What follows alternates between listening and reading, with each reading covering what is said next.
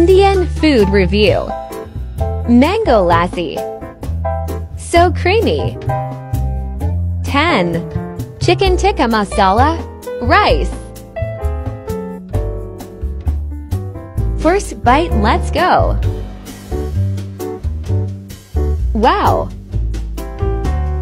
That's bomb. 11.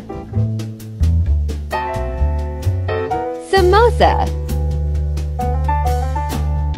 There's potatoes and peas inside. It's so flaky. 9.